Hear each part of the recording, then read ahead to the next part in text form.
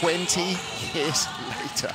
Maria Montejano of Spain, another one of Martin Rettl's badass training team alumni. Her first World Cup season coming towards its conclusion in Korea, and her third World Championship. She went to Winterberg and to Igls. Yeah, she's obviously been coached well. She's got very good form on the sled, looks good, feet together. Now just uh, the experience of getting down. A good exit there from S4, but then is just using her foot and actually caused herself to go into a skid. These athletes are steering with their head, their shoulders, their knees and their feet. Either all of those combinations or maybe just one. You can see her head is coming quite high up because she wants to look to see where she's going. That's just the inexperience and knowledge and being comfortable on a sled.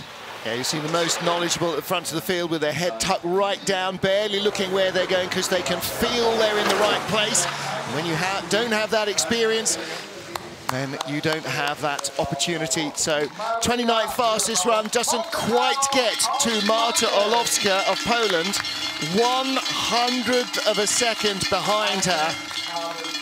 And where could that hundredth or two hundredths to move up have come from? Well, pretty much from anywhere. But big smile as ever from Maria Montejano. And not a bad exit from the Kreisel. Head up, well, certainly where she's got her head up looking where she's going. That's a few hundredths of a second, maybe a tenth all the way down the track. So, again, a bit more experience, a bit more knowledge, and everybody starts to pick up speed.